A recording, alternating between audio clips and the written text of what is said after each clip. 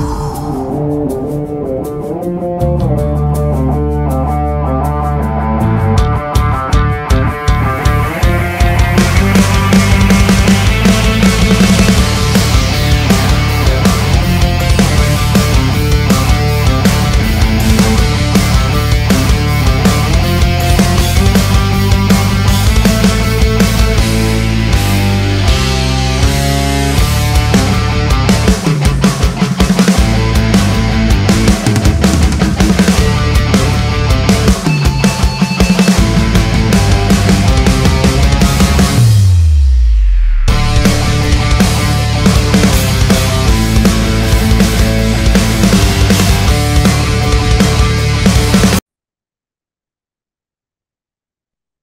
Welcome to the first episode of the Where's Home podcast, hosted by Chandler Dantzler. You can listen in on Spotify, Apple Podcast, and watch on YouTube. Today we have 2026 Florida commit outfielder, PG Select Fest alumni, and USA baseball alumni, and perfect game first team All American Brady Harris. We're pumped to have you on the first podcast. Yeah, man, I appreciate you having me on. It's a pleasure. Yep. Before we start off, just tell us who Brady Harris is for the people that don't know. Yeah, so what's up, guys? My name is Brady Harris. I'm a 2026 outfielder. I play baseball for Trinity Christian Academy. It's where I attend high school, and then I play also play baseball for my travel ball team. It's called NBA. So yeah, I like to play the game, have a lot of fun with it, and glorify God through the game of baseball. Yep. All right, just to get us started with the first topic, let's talk about your high school season with Trinity Christian. You batted 326, OPS of 977, 29 hits, 27 RBIs, five home runs, just tell us how your high school experience was like. Yeah, my high school experience was great. You know, I got to learn from a lot of older guys and a lot of seniors and juniors, a lot of dudes who took me under their wing and taught me how to play the game the right way. And I, I learned a lot from them. So, I mean, it was overall a great experience. All the memories I made with those guys and the coaching staff and as a team, you know, we didn't finish where we wanted it, but I think we all learned, especially myself, I learned a lot from the season. What were your favorite memories this season on and then off the field?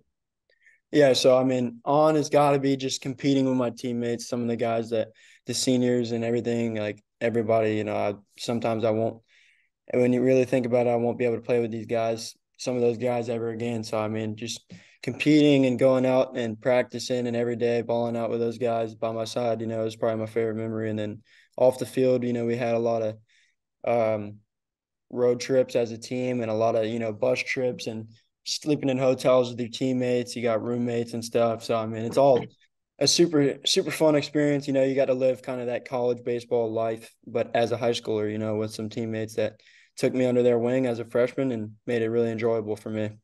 All right. Is there any specific like play you made that you know was just good memory? Oh yeah. So i mean i remember the bishop snyder one specifically. I came up where it was the eighth inning uh, we I came up and we were down three one or three two. It was a three one count, and the kid threw a fastball right down the middle, and I hit the ball. Probably farthest ball I've ever hit in my life. Probably four hundred something feet, and uh, to win the game as a walk off home run in playoffs. So I mean that's pretty high, pretty cool experience for me. That's awesome. Uh, let's talk about who do you think the best pitcher you faced is this high school season? Yeah, so I mean, being a really good team and a high known, a well known team coming into games. You know, we get a lot of everybody's best arms, and uh, I think we got literally everybody's best arm. Like, and I think a really tough guy that he had my number both times we played him. Uh, I couldn't really hit off of him very well. You know, I thought his stuff was really good. Chase kick at bowls. You know, shout out to you. You're a pretty good pitcher. And uh, yeah, he's he's uh he kept me off balance pretty good at the plate. You know, mm-hmm. great you know, being ranked eighth in PG and high up in the rankings, how do you treat that and not get caught up in, in that affect you? Yeah, so I mean, I, I just treat that as like a kind of reward to my hard work. Uh, all the success will come along if you work hard, you know, and that's just a testimony to that. I mean, I don't let it get in my head and let my head get all big and focused on that and fixate on the rankings and stuff. And that's not me as a person, you know. I like to, I don't really like to, you know, make that my personality. Basically, I like to just play my game and do me, and all that stuff will come. All right. Here's a tough question here. How do you compare the differences of high school ball and travel ball? Which one would you prefer more?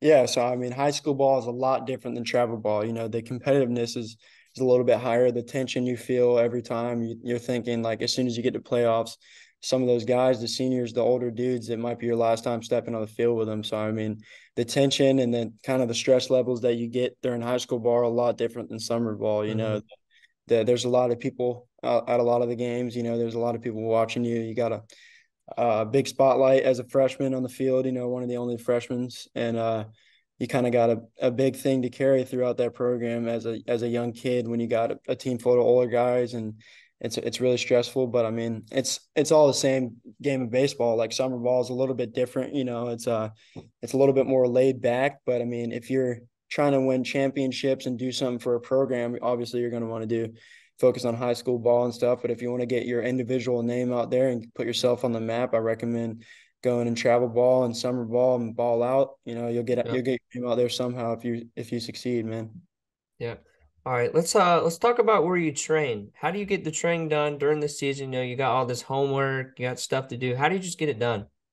Yeah, so I mean, like you said, it, it's pretty tough. You know, you got homework, training, you got school in general. I mean, it takes up a lot of time. I wake up at five fifty every morning, drive like forty five minutes to school, and then I'll get done with school. I'll I'll go to practice, and then I'll just train hitting or whatever I need to do to get me right, and then I'll go home and uh, go to the gym and train with Torque. I train with Torque Sports Performance in St. Augustine around where I live. They're a, a great development thing for me. Like it's just, it's made me a way better athlete and uh, they're a great place to go to. They have a big um, client list, like a, a lot of successful guys. So, I mean, I recommend trying something out like that. Like Torque has been a big thing in my life and my, uh, my process through baseball. So I'm, I'm really thankful for that. And I, uh, I'm proud that I'm, I'm, I'm able to go there and, and get training in on my own and training through them. That's awesome. All right, I see you're wearing the the Gator hat. Uh, kind of brings up us to the next topic. On August 8th of 2022, you committed to the University of Florida. Just take us through the recruiting process and how you got there. How did you start talking to the University of Florida? Yeah, so I mean, my my process kind of started really early, maybe compared to a lot of kids and uh, a lot of different players. You know, I mean, it can be really tough. Like I said, with the rankings, you know, you can kind of let that stuff get to your head. You can uh, you can choose to play your own game or let that boost your ego a little bit, which is not good. You know, it, it'll start really early. Like it started in eighth grade, and I uh, just played throughout uh, my normal game, and all of it came, and I narrowed it down to some schools. And uh, Florida actually started reaching out to me. Middle of the summer, we played at uh, we had a West Palm tournament. I had a really successful summer in general, but this one specifically, I had a great tournament there, and they uh, coach saw me there and he reached out to my coach and said he wanted to start recruiting me. And we went through that process, a couple weeks long process, got the offer, and then became a Gator. All right. Why did you Why did you choose the University of Florida? Yeah, I chose University of Florida because everything is just unmatched. You know, we got the facilities and the, and the coaching staff. Everything made me feel at home. Me and my family just felt like it was a great situation for me academically and the sports wise, like I mean, there's you can't beat it. You know, with the facilities, like I said, the coaching staff was great to me. We have a great relationship. They have a good relationship with my coach too, as well. So I mean, and that was my dream school all along. My mom went there. I got a lot of other family members that went there. So I mean, couldn't be any better situation than University of Florida for me. So yeah. All right. Everyone knows. I mean, you committed to University of Florida. Just tell us your top three of you choosing. Yeah, so I narrowed it down to three, mainly like two but I, I had uh, narrowed it down to Florida, Tennessee, and Mississippi State. That's awesome. Yep. All right, what advice would you give other people getting into the recruiting process?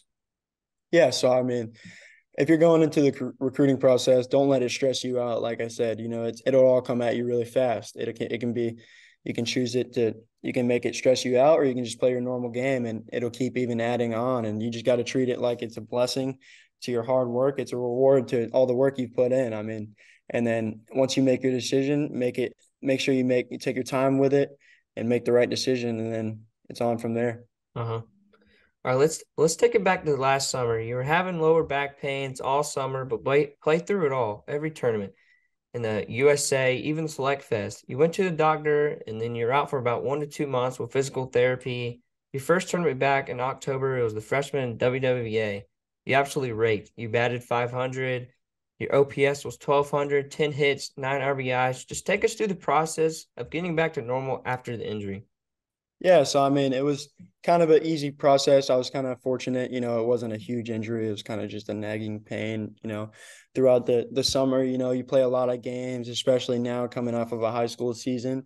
Uh, once you play a lot of games, your body gets moving every single day and doing all this. You know, it, it can kind of get tough to take care of your body, and I feel like I could have done a little bit of a better job last summer, and that's why I paid the price. Got a little bit of lower back pain, but I mean, it it all ended out well. You know, the process was fine. It was like like you said, one to two months. I had to only had to miss out on uh, one tournament in the fall, and I kind of came back better better than ever. Like you said, it felt great when I came back, and I just went through, you know, strengthening my core. Once I was taking time off, you know, trying to build that back up so this injury doesn't come back. You know, I spent time uh-huh. at Torque and all kind of places that were getting me right. So I mean, it kind of just factors into you know if you're going to put the work in you got to take care of your body at the same time. So i mean yeah. luckily that was in the fall. You have to miss anything out of your freshman season in high school.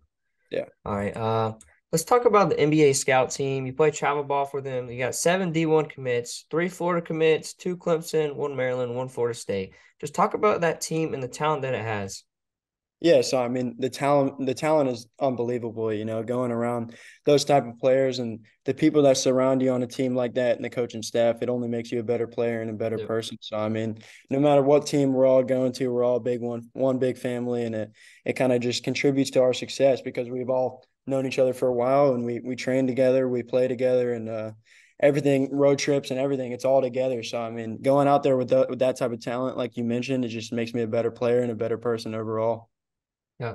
Um, if you just look at that NBA scout team roster, they're all around the same area. They've all played each other when they're younger. You know, that bondage that most teams in travel ball don't have. Most teams just just go up there, they don't know. They just they just meet the kids on the team. Just talk about how, you know, the bondage is on that team.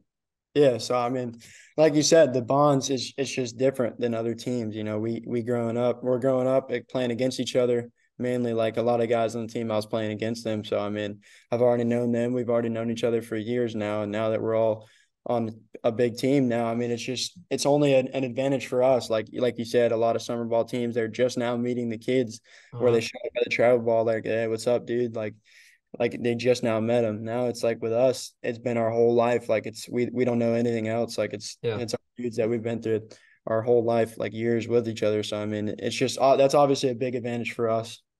Yeah. Just talk about um, NBA scout team and Trinity Christian Academy. You have the same head coach. Just talk about your relationship with him. Yeah, so that's uh, Coach Murph. He's he's a great mentor for me and a great coach overall. He's the best coach I've ever had. So I mean, uh-huh. I think I've been with him for four to five years now, and it's just he's maybe uh, just a great overall like person and a better hitter, a better player overall. Like he's just he's kind of just been a, one of the bigger parts of my life so uh-huh. far. I mean, he's, he's, he's played a huge role for me and my family, and it, words can't describe how thankful we are for him. And uh, the the way he's built my character has been uh, better than any other like coach could do. Like, I mean, a lot of people want to focus on the sports and the baseball, like how good a coach can develop you. That really matters, but I mean. When it comes down to it, is the guy going to be a good person and make you a better person off the field? And I think that's exactly what Coach Murphy does for me. Uh-huh. Uh, do you think Coach Murph has the same coaching style as he does with travel ball in uh, high, the high school season? Yeah, so I think he uh, it's the same old Murph with me. You know, I I I feel like he's the same coach. You know, he's always been a competitive guy. He's gonna he's gonna have a little bit of fire with him. Uh, mm-hmm. He's not gonna sit there and embarrass you on the field and yell at you in front of everybody and try to make a fool of you. He's gonna try his best to develop you, like I said, as a player and even more importantly as a person. So I mean, he's been really great with that, and I think he's the same coach either way. He's really competitive and he likes to win. So I mean, he's, he's a great coach through high school and travel ball. Uh, all right, um, got a couple more questions here. Let's just talk about your approach when you're walking up to the batter's box. What's going through your mind? Yeah, so I used to try the uh, like the thinking a lot when I'm going to hitting and stuff, and overthinking is not really good when you're going up to hit. So I mean, I kind of thinking, you know, us as a team with Coach Murphy leading us as a coach, he kind of um he him and Coach Julian, like our hitting coaches have been and Seb, we have coaches that, you know, we create scouting reports off the pitcher we're gonna face like a week before even. And uh it's kind of just it, that really helps us a lot. So I have an approach off of the each pitcher going into the game, and then when I'm on deck about to go up to the plate, you know, I'm thinking one thing, and that's do damage to the pitch. I my A swing. I'm trying to get my A swing to my pitch. So I mean, I'm trying to do damage with that, and then the rest is history. So you talked about you train at Torque Performance. You know, Anthony Richardson just came out of University of Florida. He got drafted to the Colts. Uh, how was it just being able to train around guys like that?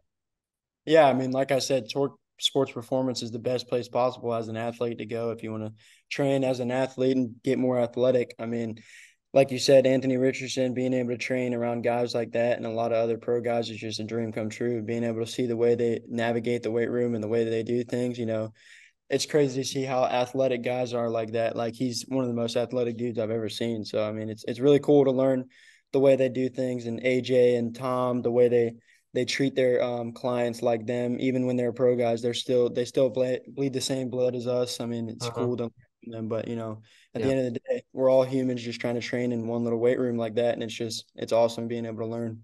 All right. So here's another question. Uh, what is your go-to artist before the game?